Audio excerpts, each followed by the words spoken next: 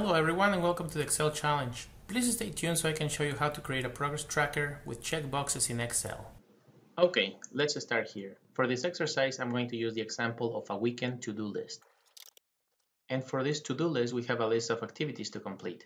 Before we start with the list, we need to make sure the developer tab is active. What you do is you go to the ribbon, right click, and click on customize the ribbon.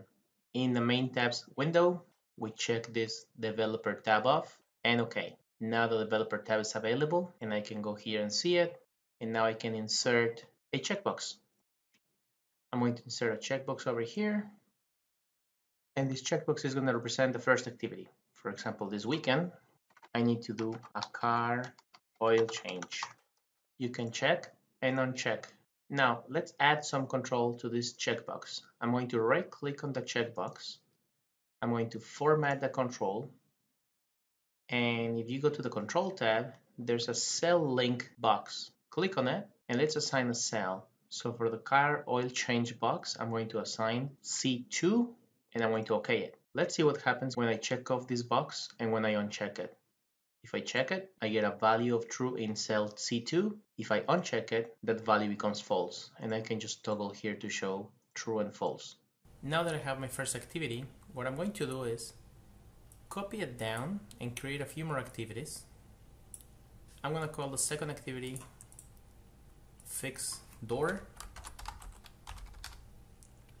Third activity is cut grass.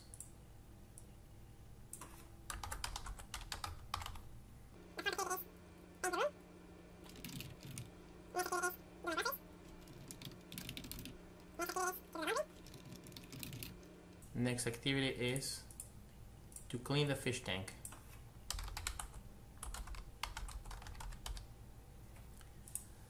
Okay, I have my list of activities for the weekend. The next thing I'm going to do is assign a cell to each of the checkboxes. Right click, format control. I want this checkbox to be linked to cell C3.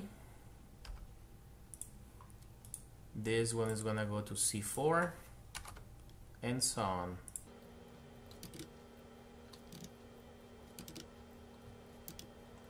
Perfect. I have assigned a cell to each of the checkboxes. So if I toggle here with check and uncheck, you can see the true or false values for each of them.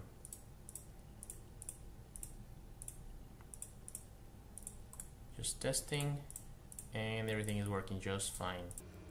What I'm going to do now is to create a small table because I want to count how many trues I have, how many false I have, the total of activities, and the progress.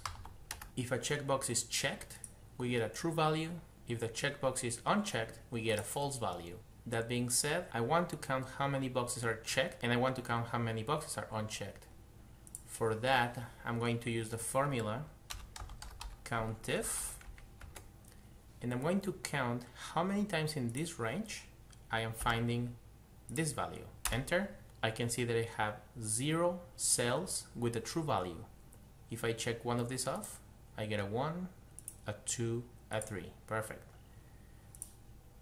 I'm going to do the same for false. I'm going to count if how many times in this range I find the word false.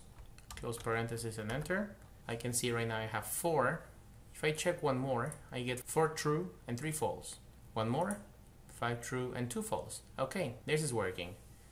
I'm going to add the total. So for that, I'm just going to say true plus false equals total. I have a total of 7 activities. And in order to calculate my progress, I'm going to divide with equals the number of trues over the total of activities. Enter. 71% of the activities are checked off. If I uncheck them, my progress reduces. And the last thing I'm going to do here is create a chart to track the progress. So I'm going to select the progress. I'm going to insert one of these horizontal bar charts. And we're going to put it over here. I'm going to select one of these predefined designs. I want my values to go from 0 to 100% so 0 and 1 I want to reduce the gap width. I want to add the data label.